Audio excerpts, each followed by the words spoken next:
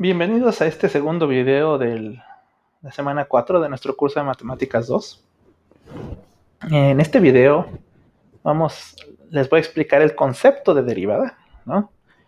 Eh, si recuerdan, bueno, un requisito para ver este video es ver el, anterior, ¿no? Primero, 2.01, donde hablé de razón de cambio. Eh, ¿Por qué? Pues porque pues necesitan entender eso primero para luego poder entender eh, qué, es esto, qué, es esto de la derivada, ¿no? Entonces, eh, antes de hablar de la derivada, voy a hacer un pequeño, eh, o sea, voy a moverme a, esto que se llama límites. esto no está en su temario, ¿no? entonces me lo estoy saltando. ¿no? no tenemos tanto tiempo como para ponernos a ver límites, ¿no? Eh, pero déjenles explico cuál es la idea, ¿no? Y en la siguiente diapositiva les voy a decir qué tiene que ver con lo que estamos haciendo. Entonces, primero aquí es qué es la idea de límites, ¿no? Entonces, fíjense en esta función, ¿no? Es una función racional. Si se fijan, esta función no está definida, o su dominio, o voy a decir aquí, justamente ya tenemos eh, ¿cómo se llama? Terminología para esto, ¿no? El dominio de f pues es todos los números de menos infinito a 1, a 1, perdón. Luego el 1 nos lo saltamos y es de 1 infinito, ¿no? Que se puede escribir también, esa es en notación de intervalo, ¿no? Pero también lo puedes escribir como todos los números reales menos, este es el menos de conjuntos, se escribe así diagonal, menos el punto 1, ¿no? Sí, o sea, ¿Qué quiero decir aquí? Pues que no pueden sustituir uno, ¿no? Porque tendrían que dividir entre cero. Entonces, esta función no está definida entre cero, en, cero. Entonces van a preguntarse, ah, entonces tiene una asíntota, porque es lo que vimos, ¿no? En los ejemplos pasados. Pues no exactamente, ¿no? Porque esta, esta función tiene una trampa, ¿no?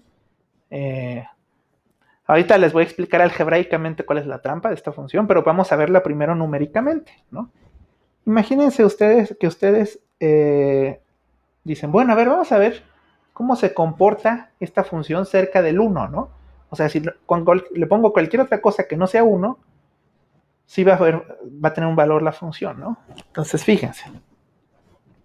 Entonces, si ustedes hacen sus, sus cálculos, ¿no? Entonces, aquí tienen una tabla. Puse dos tablas, ¿no? Y hacen los cálculos, ¿no? De f de x para estas x. Ahora, ¿cuál es el punto de estas x? Que la primera es 2, después 1.5, después 1.05, después 1.005. Entonces estos números de la izquierda se acercan al 1, ¿no? Entonces esto tiende a... Ahí, bueno, no, quería poner, no quiero usar ese espacio. Estos números eh, ¿cómo lo pongo? Estos números tienden a 1, ¿no? Eh, y son números mayores, ¿no? Entonces, por la derecha. ¿Qué quiere decir con la por la derecha? Derecha. Significa, acuérdense, que la recta numérica, pues los números a, la derecha son los mayores, ¿no? Entonces, en esta tabla, el x está tendiendo a 1, o sea, están escogiendo números cada vez más cercanos a 1, que están a la derecha del 1, o sea, son, mayores, ¿no? Y en esta otra tabla hice lo, opuesto, ¿no? son números que van creciendo y que van acercándose a 1, pero por la izquierda.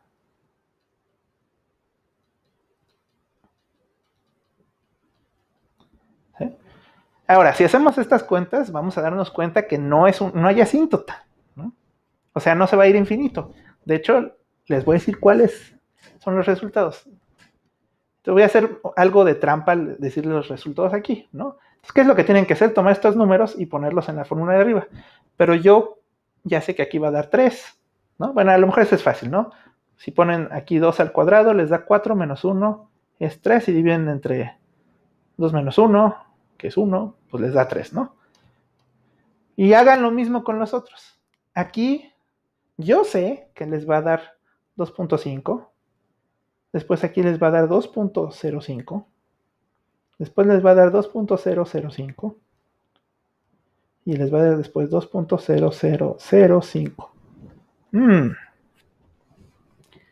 ¿no? Entonces, eso no parece que esté tendiendo infinito, ¿no? Ni a menos infinito ni más infinito. ¿no? Fíjense que aquí lo que obtienen es que estos números están tendiendo o están acercándose al... ¿A qué número? Al 2. Ah, fíjense, es bastante interesante este, eh, ese comportamiento. Ahora, eh, ahora háganlo por la izquierda. Si ponen el 0, van a, va a darles 1 la función. Y luego les va a dar, fíjense, 1.5, 1.95, 1.995 y 1.9995. Si no me creen, hagan las cuentas y les va a salir exactamente eso. Ni siquiera son aproximaciones esto que estoy poniendo. Es eso exactamente. Estos números se van acercando a, y también a 2, ¿no? Bueno, el chiste aquí es que si ustedes tomaran números más cercanos al 1, o sea, cuando x es muy cercano a 1, la f de x va a ser muy cercana a 2. Se va, de hecho, se va a ir acercando cada vez más a 2. Conforme se acerquen a 1, o sea, por la derecha o por la izquierda, eh, la función va, a acercarse al valor de 2. ¿no? Entonces, esto se escribe así.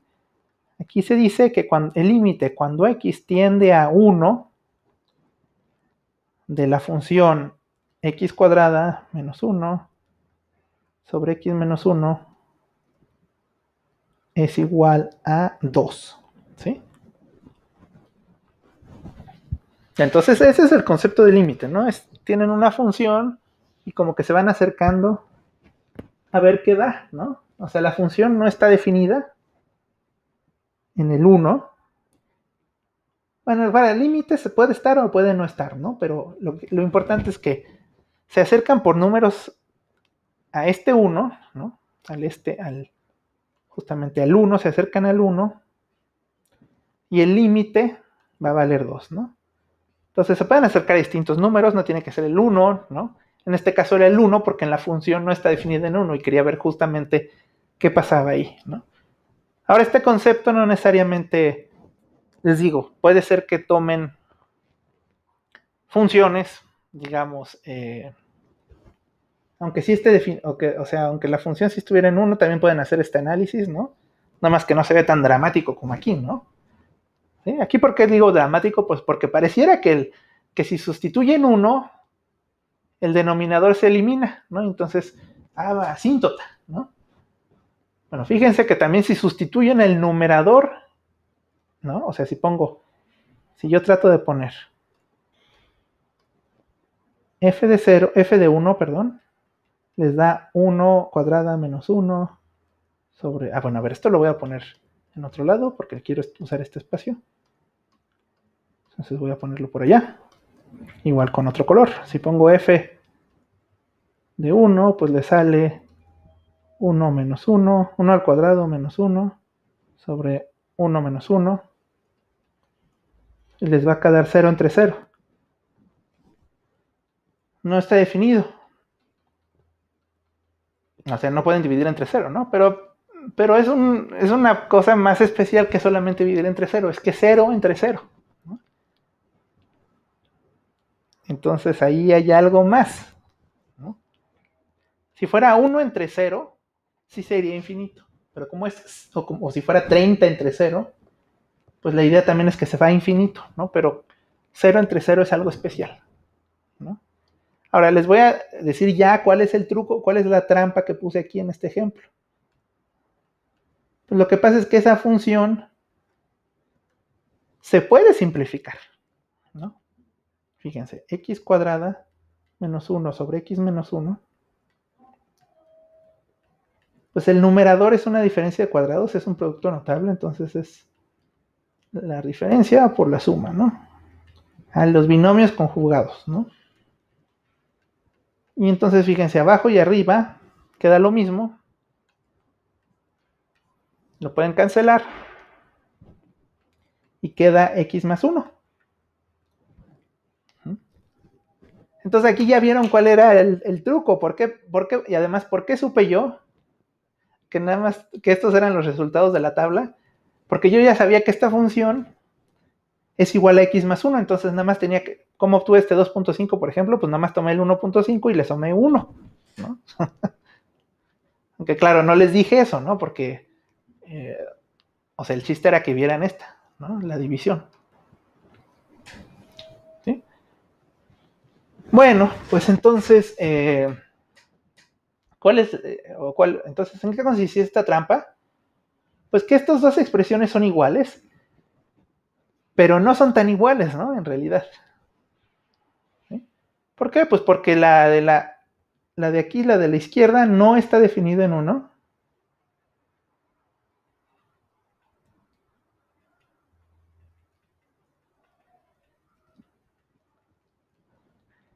Y la de la derecha, pues sí está definida en uno, ¿no? Sí está definida. Sí está definida en uno.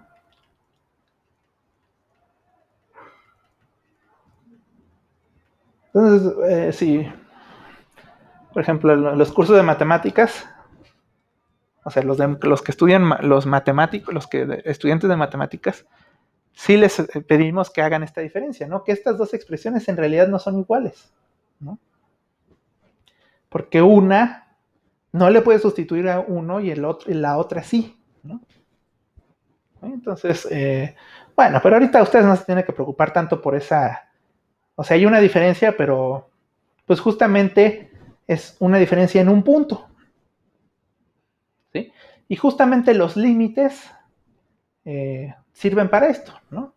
Como que si tienen ustedes esta expresión de la izquierda y dicen, ay, pues ahí en el 1 no sé qué sea, pues bueno, lo que haces es sacar el límite y darte cuenta qué es lo que debería de ser, ¿no? O qué es lo que, eh, pues sí, como que debería de ser, ¿no? ¿Cuál debería ser el valor de esa expresión? En el 1, pues el límite, ¿no? Bueno, esta es una, forma de decirlo medio incorrecta, ¿no? Pero eh, creo que captura más o menos la intuición de qué está pasando. Bueno, entonces, ¿qué tiene que ver esto de los límites con, todo lo que habíamos dicho antes? Voy a hacerles un dibujito. ¿no? Aquí están las rectas, secantes. Entonces, imagínense que aquí tienen... Ah, pues aquí está. De, hecho, aquí no, no tienen que imaginarse, aquí está ya lo que está pasando. Fíjense. Eh, aquí hay ese punto. Ah, déjenme ver si lo puedo poner. Creo que no.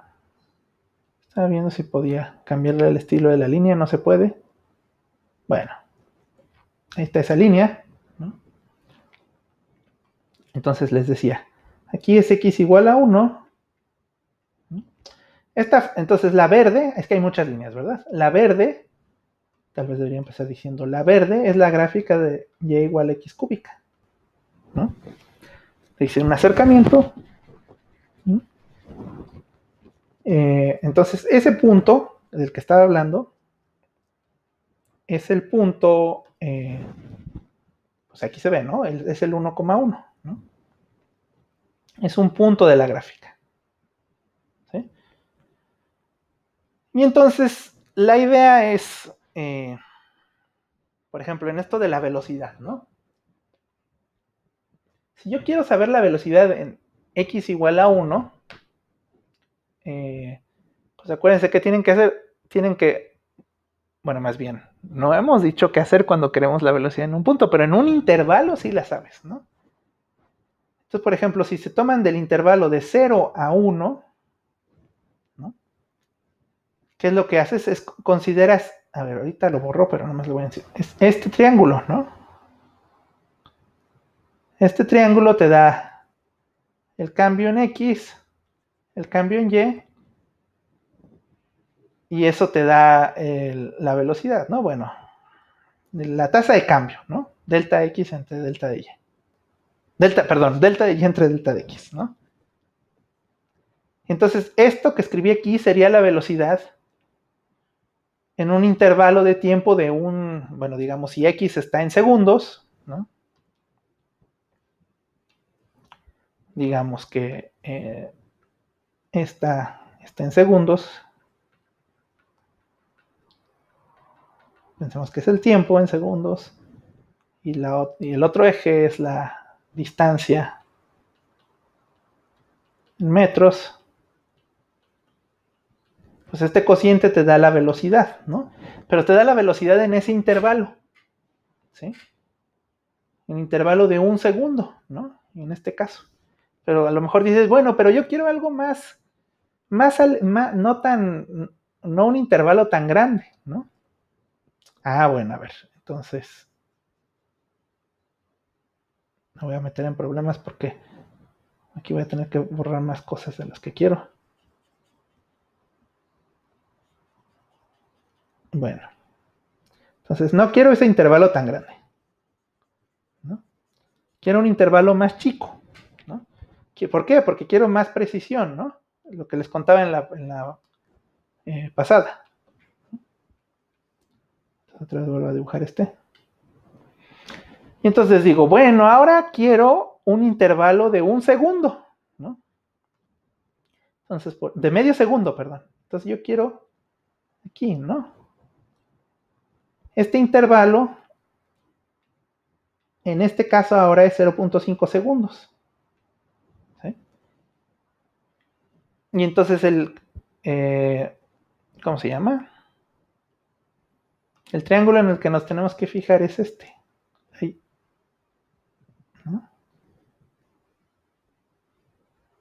Ay, ay, ay, está muy feo, pero este de aquí va a ser, en este caso, el delta de Y. Ahí, aquí puse tiempo que debería de haber puesto X, ¿no? Eh, bueno, que ya estoy diciendo que es tiempo. Pero sería X, ¿no? Y entonces así obtendríamos una velocidad más precisa, más cercana a lo que queremos, ¿no? Con ese intervalo de 5 segundos. Pero a ver, ¿qué tal si yo digo, bueno, pero yo quiero un intervalo más pequeñito? Yo quiero, no quiero 5 segundos, yo quiero Ahorita veo cuántos, ¿eh? Punto 5 segundos. Yo quiero un intervalo más pequeño de tiempo. Entonces, ¿cuál intervalo podría ser? Pues este, ¿qué? ¿Cuántos son?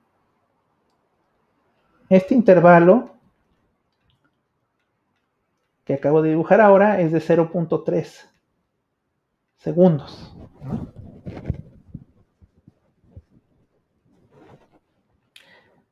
Eh, Ahí saben qué. Porque para que no estén tan confuso esto, porque a lo mejor aquí no les gusta que diga delta de y entre delta de x. Entonces voy a ponerle otra vez que la distancia, como en el problema de eh, problema de, de Galileo y Newton. Entonces el tiempo, el tiempo era t entonces en vez de poner x igual a 1, voy a poner tiempo igual a 1. Tiempo igual a 1. Y entonces la fórmula de la velocidad es pues cambio de posición entre cambio del tiempo. Y entonces ahora yo quiero, ¿qué les estaba diciendo? Yo quiero un intervalo de 0.3 segundos. Ahí está. Aquí está el intervalo de tiempo de 0.3 segundos. Ahora sí ya esté, ¿no? Y ahora nos tenemos que fijar en esto, ¿no?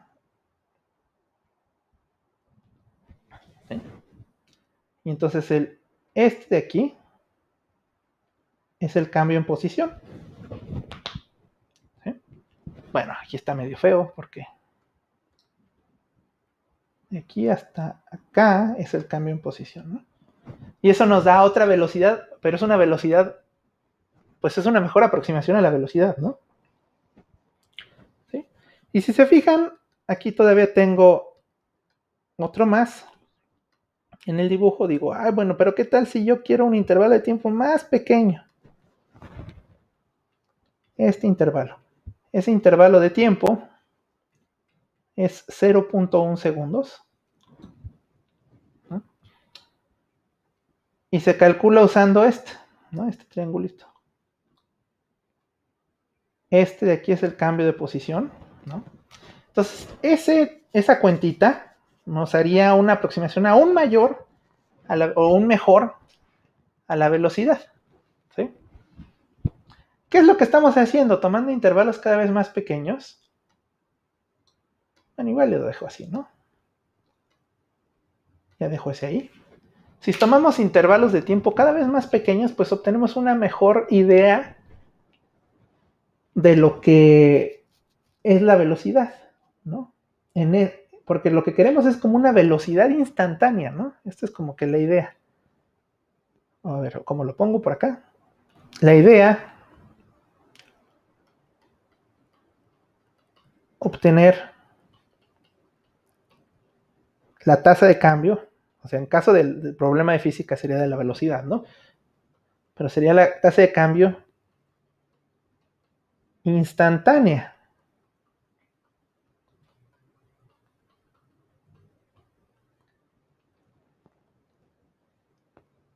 Y entonces, en otras palabras, nosotros queremos el límite cuando el intervalo de tiempo tiende a cero del cociente del cambio de S entre el cambio de T. Esto es lo que queremos, ¿no? O sea, queremos como la velocidad. ¿Cuál es su límite cuando el intervalo de tiempo se hace chico? Pues esa es la idea de la derivada, ¿no? Entonces, ahora vamos al... Ah, bueno, y aquí tenía que decir algo de las rectas secantes, ¿no? Fíjense, les decía que las rectas secantes, ¿no? La, o más bien, la de esta cosa, la delta de S entre delta de T, es la pendiente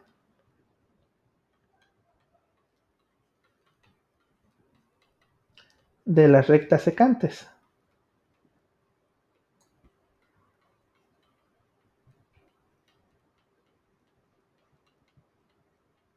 Y fíjense que las rectas secantes, que son las azules, se están acercando a la recta roja, ¿no?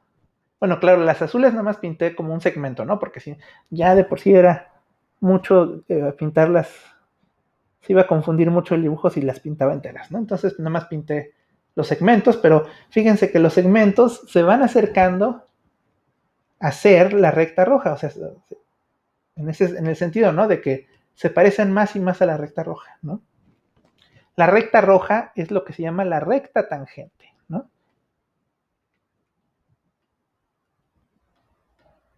Recta tangente. Y entonces, pues fíjense, las rectas secantes, su límite va a ser una recta tangente. Las eh, tasas de cambio por unidad de tiempo, si el tiempo lo hacen chico, se va a ir aproximando a, a la tasa de cambio instantánea. ¿no? Esa es la idea. Bueno, entonces aquí está la definición. ¿No? Matemática de la derivada. Entonces toman una función y un punto en el dominio. Entonces ese punto es A. Entonces el cambio instantáneo en A, bueno, la a ver, aquí tal vez debía haber dicho no el cambio instantáneo, ¿no? Eh, no, es, no es tanto el cambio instantáneo, porque el cambio de qué? ¿no? La tasa de, la tasa de cambio instantáneo no es el cambio, ¿no? Es, la tasa de cambio instantánea. Y aquí sería instantánea con A. En X igual a A es este límite. ¿Sí? Entonces, fíjense. Eh, vamos a, ver. La idea aquí es que como, bueno, el, h podría ser positivo y negativo, pero eh, fíjense que como que el x inicial, esto se tienen que acordar de la otra plática, ¿no? De la otra plática, de la otra, del otro video. La posición inicial es A, y lo que tienen que pensar es que la posición final es A más H, ¿no? El, ¿sí? A más H, bueno, es que esto si H fuera positivo, ¿no? El inicial A y se mueven un poquito H unidades, entonces quedan en A más H. Y entonces el F inicial,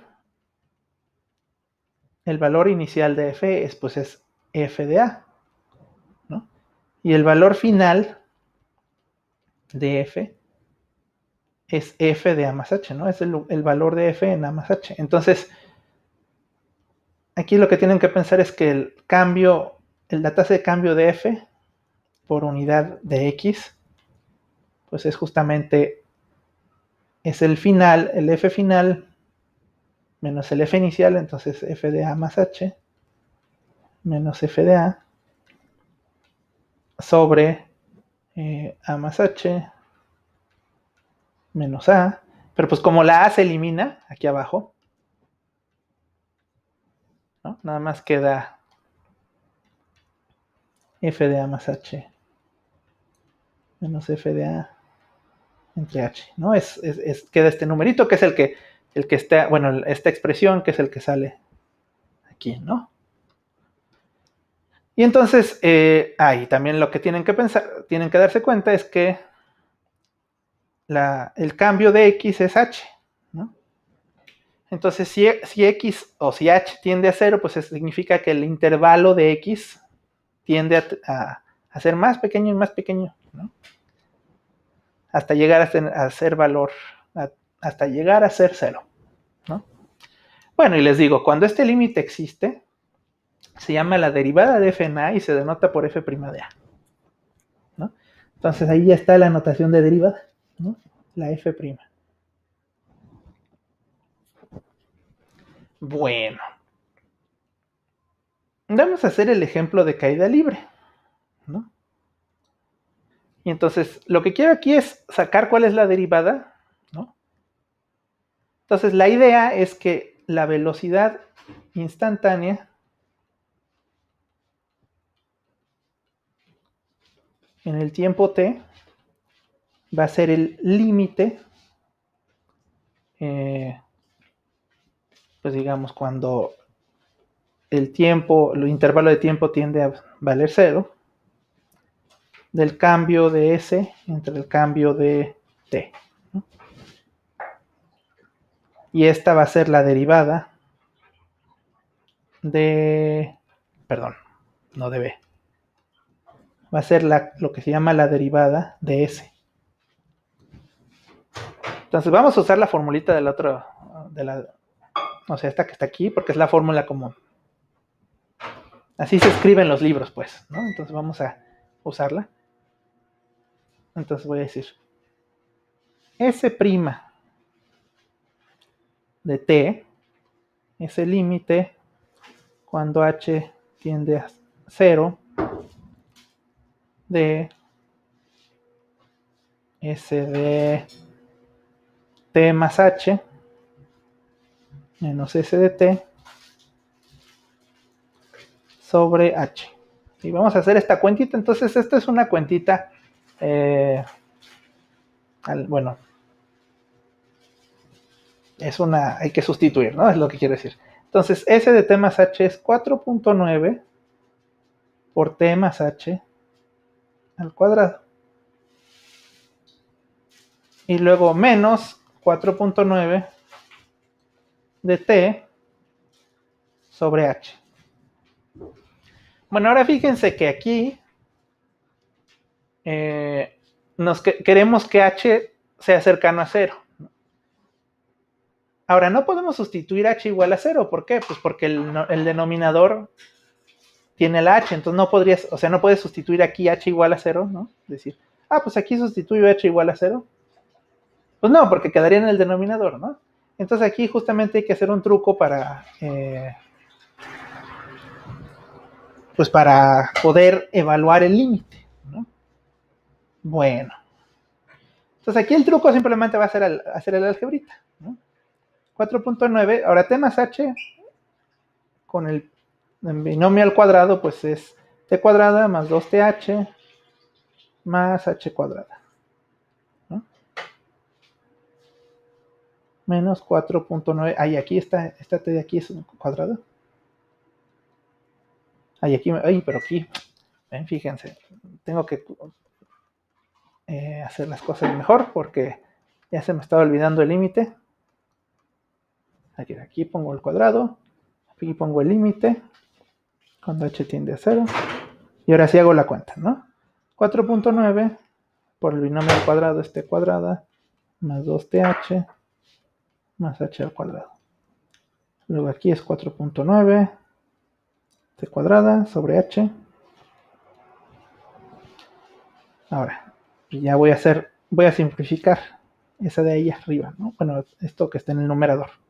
Entonces que queda 4.9 t cuadrada más 4.9 por 2 es 9.8 t por h más h cuadrada menos 4.9 de t cuadrada. Aquí fíjense, ahí bueno, dividido entre h, ¿verdad? Fíjense que este con este se cancela. ¿no?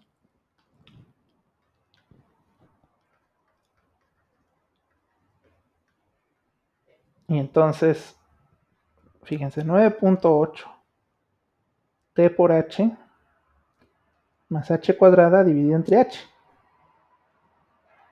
Pero fíjense que aquí lo que logramos es que ya todo arriba estuviera multiplicado por h, todo. O sea, está 9.8t por h. Y luego está más h al cuadrado, ¿no? Entonces podemos dividir entre h.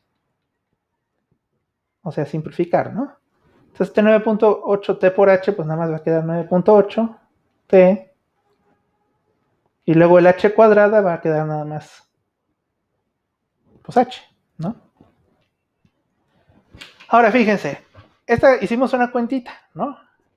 El, h tenía estaba en el denominador, pero ya cuando terminamos de hacer esta cuentita, eh, el h ya no, ya no hay denominador, ¿no? Entonces aquí ya podemos sustituir, o sea, lo que no podíamos hacer antes de sustituir h igual a 0, aquí sí lo podemos hacer. Aquí ya podemos sustituir h igual a 0.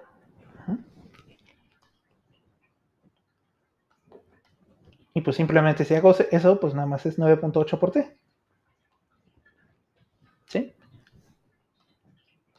Ahora, esta expresión que acabamos de obtener, ya le quito el límite porque ya, pues ya, ya sustituí la h igual a 0, ¿no? Esta expresión que acabamos de obtener aquí es la expresión como les decía arriba, de la velocidad. Bueno, igual y lo pongo así. La velocidad en el tiempo t es 9.8 por t. Entonces fíjense, esta fórmula está súper condensada. ¿Por qué? Porque si nosotros queremos saber a qué velocidad va un objeto al caer en el tiempo t, pues nada más sustituyes ahí, ¿no? Ahora recuerden en el video anterior lo que teníamos que hacer, teníamos que hacer, eh, o sea, en la fórmula de S sustituías el tiempo inicial, el tiempo final, dividías, ¿no? Y obtenías una aproximación de la velocidad. Esta es la velocidad instantánea, ¿no? O sea, en un intervalo, dice uno, infinitesimal, ¿no? En el, otro video eran en intervalos, por ejemplo, de un segundo, de medio segundo. Ahora, esta es la velocidad como en el instante. ¿sí? Entonces, los físicos usan esto para, eh, o sea, la, velocidad se escribe así, ¿no? Con la derivada. Eh, bueno, les tengo otros dos ejemplitos de cómo se hacen las derivadas por medio de esta definición. Voy a hacerlos algebraicamente, ¿no?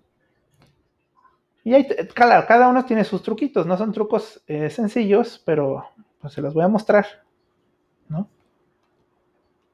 Y les voy a poner unos cuantos que se van a parecer mucho a estos, ¿no? Entonces, eh, no deben de preocuparse Nada más van a usar truquitos como los truquitos aprobados, ¿no? Por el profesor. f de x. Entonces aquí escribo la definición de derivada, ¿no? Tenemos que obtener ese límite de este eh, cociente. Ahora voy a sustituir. El límite de h tiende a 0 Entonces, f de x más h, pues es aquí es 1 sobre x más h menos 1 sobre x, todo sobre h. Ahora, otra vez, si nosotros sustituyéramos aquí el 0, no podemos evaluar la expresión, ¿no? Porque eh, justamente, eh, pues otra vez tendrías que dividir entre 0, ¿no? Ese es el chiste. Bueno, siempre en las derivadas, pues está el h abajo, ¿no? Entonces, en el denominador. Entonces no puedes sustituir el h igual a 0. Entonces justamente el objetivo es decir, bueno, vamos a expresar este cociente como, o sea, vamos a desarrollarlo y vamos a escribirlo de otra forma para que la h no esté dividiendo. Límite de h tiende a 0. Entonces, fíjense, voy a hacer primero, mm, bueno, este h dividiendo lo dejo aquí por ahora. Arriba voy a hacer la operación, entonces, si se acuerdan, tienen que multiplicar los denominadores, x más h por x, ¿sí? y luego les queda x menos x más h, ¿no? Entonces, estas son las reglas de eh, cómo sumar fracciones. Ahora simplificamos, ¿no? acuérdense que todo está sobre h. Pero aquí arriba eh, les va a quedar menos h x más h por x. Ahora aquí tenemos que hacer un, aquí hay una fracción de una fracción, entonces hay que, bueno, primero noten que aquí es como si fuera h sobre 1, entonces están dividiendo fracción entre fracción. Entonces si se acuerdan de la regla del sándwich para las fracciones, lo que hacen es poner las tapas, las tapas del sándwich arriba, ¿no? A ver, ¿cuáles son estas? Estas son las dos tapas del sándwich, ¿no? Las ponen arriba, h por 1. El signo menos lo voy a poner arriba también. Y los lo que está dentro del sándwich, estos dos, los ponen multiplicando abajo, ¿no? Entonces, es x más h por x por h. Bueno, entonces todavía hay que hacer algunas cosas. ¿Cómo que? Pues fíjense que aquí está multiplicando y dividiendo el h. Entonces lo pueden eliminar. Entonces es menos 1 por x más h por x. Y fíjense, ya que llegamos a esta expresión, eh, ya podemos sustituir la h igual a 0, ¿no? Porque aquí sí, aquí sí se vale. Entonces sustituyen h igual a 0, les queda x más 0 por x y bueno, x más 0 es x, entonces menos 1 entre x cuadrada. Entonces ya calcularon la derivada. Que la derivada de 1 sobre x es menos 1 sobre x cuadrada. Entonces, si algún fenómeno de la naturaleza o económico fuera, se pudiera representar por eh, por esta expresión 1 sobre x, lo que acabamos de hacer en, este, en esta diapositiva es calcular cuál sería su velocidad. Bueno, su velocidad, bueno, la tasa de cambio, ¿no? Les digo, la tasa del cambio por unidad. Que se interpreta en física, se interpretaría, por ejemplo, como velocidad si fuera movimiento, ¿no? Bueno, voy a hacer una más por la definición, ¿no? Entonces aquí es raíz cuadrada más 2, de, x más 2. Entonces, fíjense, la derivada otra vez es, ay, pero me faltó poner límite, no se les olvide el límite, de h tiende a 0, de f de x más h, menos f de x,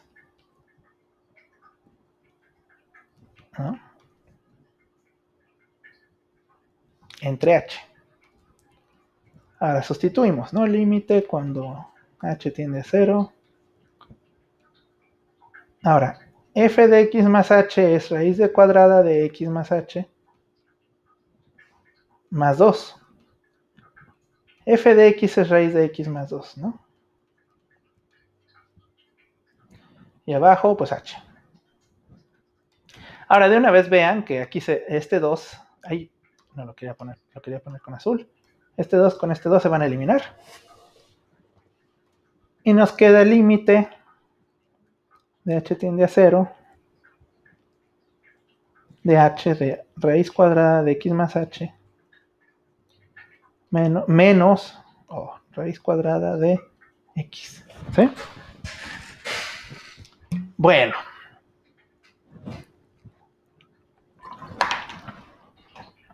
Ahora, eh, aquí nos vamos a observar que está así como que, bueno, no puedo sustituir h igual a 0 porque está en el denominador. Entonces aquí viene uno de los truquitos digamos, oficiales de cuando hace uno derivadas, ¿no?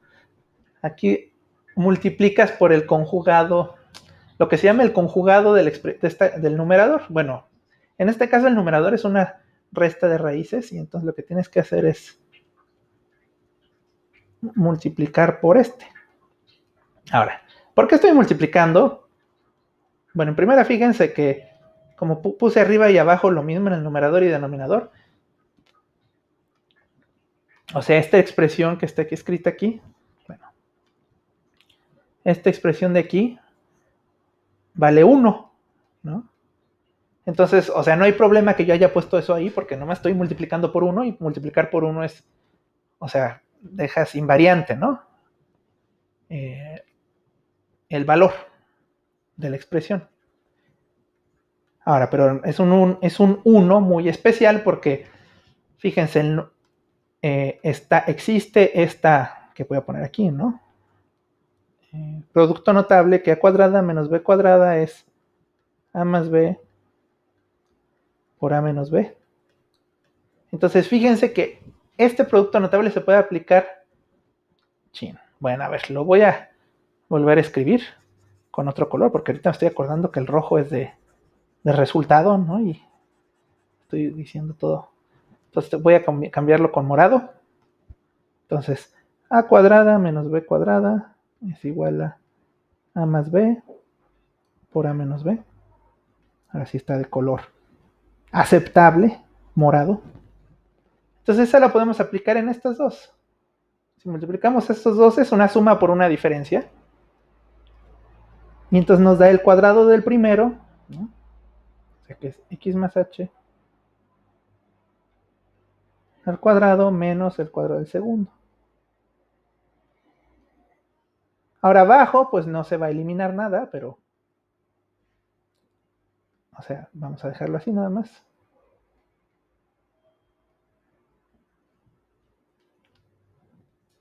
No se les olvide el límite, como se me estaba olvidando hace rato. Ahora fíjense, cuando le tomo la raíz cuadrada y le eleva al cuadrado, pues nada más me va a quedar x más h. Aquí hay un pequeño paréntesis, pero eh, porque pero bueno, x más h es positivo, tiene que ser positivo, entonces si lo elevan al cuadrado, sí, cada x más h, olvídalo. Estaba pensando otra cosa. Entonces, también raíz cuadrada de x, cuando lo elevan al cuadrado es x. Ahora, fíjense que aquí abajo queda esto igual, esto no cambió. Ah, pero aquí es más. Ya lo estaba cambiando. Ahora, cuando hacen esta resta, eh, ¿de qué color lo estaba poniendo? Azul, este se elimina con este. Entonces nada más les va a quedar en el numerador h y luego aquí abajo una h. Ya se dieron cuenta lo que voy a hacer ahora, ¿no? Voy a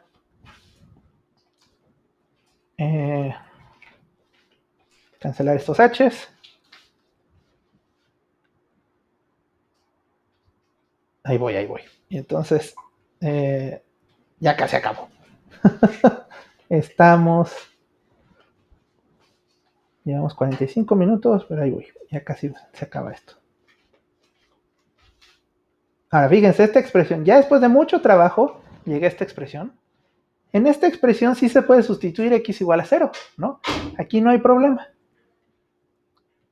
Queda x más 0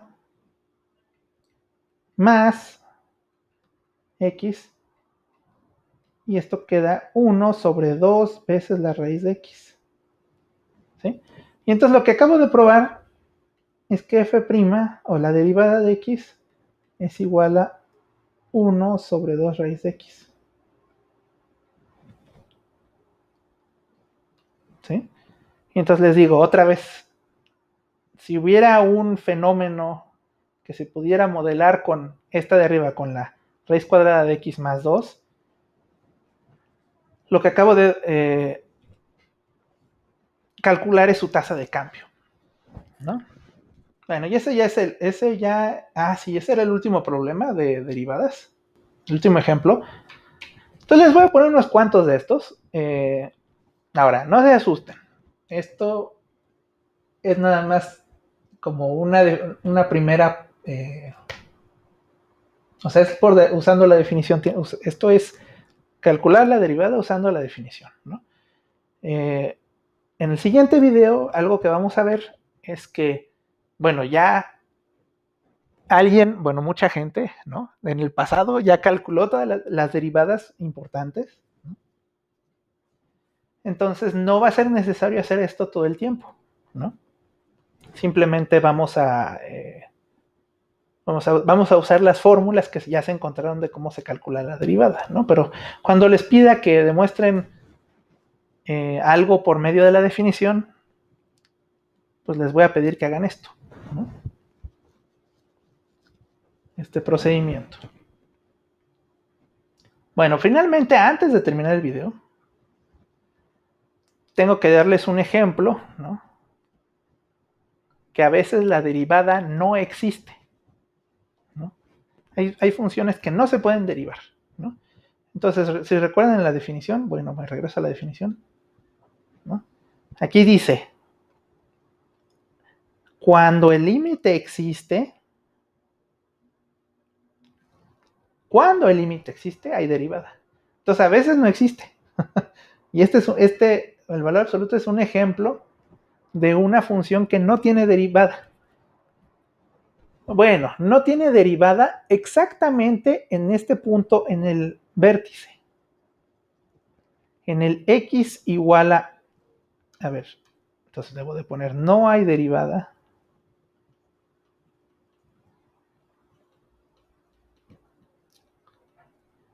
En x es igual a 0, ¿no?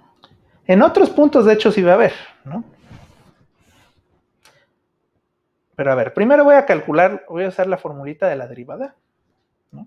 O bueno, la definición de la derivada, ¿no? Entonces, fíjense, la derivada en cero es el límite cuando h tiende a cero. Aquí tengo que poner abajo h, aquí pongo f de x más h menos f de x. Ah, bueno, pero pero fíjense, estoy, bueno, a verlo. Está bien, dejo eso así. Pero esta es la derivada en x, ¿no? Y entonces la derivada en 0, pues hay que sustituir eso, ¿no? Sustituir, en primer hay que sustituir x igual a 0, pero además también hay que sustituir la f, ¿no? Entonces aquí les voy a poner el valor ya es 0 más h menos el valor absoluto es 0 sobre h. Y esto es el límite, cuando h tiende a 0, del valor absoluto de h sobre h. Uy, bueno, y entonces, ¿eso cómo se calcula? Entonces, pues no hay truquito algebraico que ayude aquí. Pero fíjense, Aquí lo que podemos hacer es analizar este cociente. ¿Qué pasa si h es positivo? Si ustedes calculan valor absoluto de h entre h, cuando, el cuando x es positivo, de hecho cuando es cero pues no puede ser, ¿no? Cuando es positivo el valor absoluto de h es h. Entonces les queda h entre h es igual a 1. Pero, si h es menor que 0, el valor absoluto de h entre h, en primer, el valor absoluto de h, como, x es como h es negativo, pues entonces el valor absoluto es positivo, y entonces el valor absoluto de, menos h es, de h es menos h, y entonces les queda menos 1. Entonces, fíjense, esta expresión, valor absoluto de h entre h, toma dos valores. Menos 1 cuando h es positivo, perdón, más 1 cuando h es positivo, que es este, digamos, este de aquí. Y menos 1 cuando h es negativo. Ahora, ¿eso qué significa? Recuerden que, a ver, este es x, pues en este caso es igual a 0, ¿no? Si ustedes toman h positivo, se lo voy a poner con azul, el h positivo. Cuando toman h positivo, pues x menos h está por acá. X, X más H, perdón, está por acá, ¿no? Porque H es positivo. Ahora, si toman H negativo, cuando H es negativo, pues el X más H está a la izquierda, ¿no? Porque pues es negativo, entonces le están restando algo a, a X, ¿no? ¿Sí? Entonces, este, es el valor, este sería el valor absoluto de x más h. Y el valor absoluto de x... Bueno, a ver, ¿cómo lo pongo? Esto está... No está bien ponerlo así, simplemente es... Eh, pues estoy usando el azul, ¿no? Este, este es x más h, este punto de aquí es el x más h, coma, valor absoluto de x más h. Y el otro punto del otro lado, de la izquierda, es el x más h, coma, valor absoluto de x más h, pero claro, para h negativo, ¿verdad? Entonces están pasando, entonces los de h positivo son los que están del lado derecho, ¿no? Del, digamos, del lado derecho del eje x, cuando están a la derecha del 0, y los de H negativos son los que están a la izquierda. Entonces, fíjense, si ustedes se acercan por el lado derecho, o sea, por el lado azul, pues el cociente va a ser 1, 1, 1, 1, siempre va a ser 1, ¿no? Porque es pues, lo que dice aquí, ¿no? Ahí. Con color azul, ¿no? Siempre es 1. Entonces, del lado derecho siempre es 1. Pero del lado izquierdo, si ustedes se acercan por el lado izquierdo, les da menos uno, siempre. Bueno, pues eso, la pregunta, entonces por el lado derecho, el valor es 1 y el lado izquierdo es menos 1, entonces en el límite, ¿cómo va a ser? Entonces como que el lado derecho te está diciendo, pues tiene que ser 1, y el lado izquierdo te está diciendo, tiene que ser menos 1.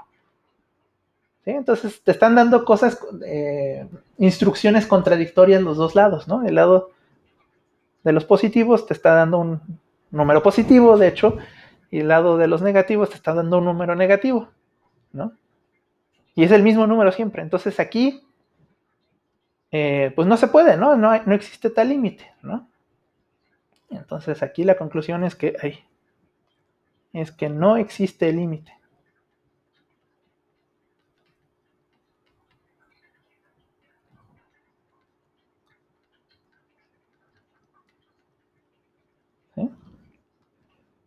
Como no existe límite, pues no es derivable, ¿no? No se puede obtener la derivada. Entonces dejen, escribo, eh, lo que sí puedes escribir, que, claro, esto no es eh, el límite por el lado, por los positivos. A ver, ¿cómo es? Si ustedes como que calculan nada más, esto es el límite, lo que se llama el límite lateral por la derecha vale 1, es lo que les decía, ¿no? La parte azul siempre da 1. Y si ustedes calculan el límite por la izquierda, el límite h, cuando h tiende a 0 por los negativos, esto les da menos 1. Y como justamente como los límites laterales no coinciden, pues no hay límite en realidad, ¿no? O sea, si te acercas por un lado es un límite, por el otro lado es otro límite, entonces no hay límite general, ¿no? Bueno, ahora, otra forma eh, física, digamos, de cómo se explicaría esto. Imagínense que ustedes están viajando sobre, ¿sí? O sea, ¿cómo explicas que con intuición física de que la derivada no existe? Imagínense que ustedes van, aquí son, digamos, tienen este punto. Ay, a ver si se puede. Es que tengo aquí una. Tal vez se puede hacer esto. Bueno, tienen... Eh, ah, miren, sí se puede mover. Aquí tienen, son ustedes este, este ovalito que acabo de dibujar. ¿no? Y vienen, vienen sobre la recta. Piensen a velocidad constante. Pues no hay problema, ¿no? Se pueden seguir moviendo. Cuando llegan aquí, si van a velocidad constante, se van a seguir para acá, ¿no? No se van a seguir, no se van a poder dar vuelta, ¿no? Imagínense que el verde es un, camino. Entonces, si van a velocidad constante, aquí chocan, ¿no? O se salen del camino.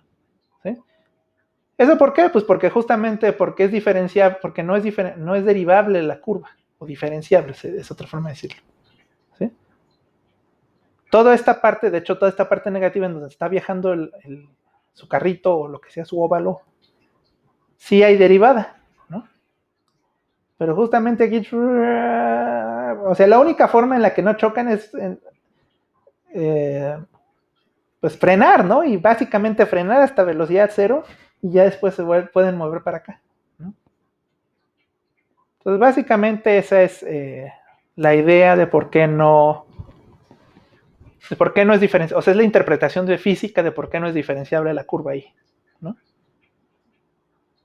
De hecho, vamos a hacer esto mismo, nada más, nada más para que vean, ¿no? En esta curva, en la de y igual a x cúbica, si hacemos lo mismo, si pongo aquí un ovalito, sí, o sea, sí se pueden mover por aquí, ¿no? La curva es lo que se llama suave, ¿no? Entonces, en esta curva, sí hay derivada en todos lados, ¿no?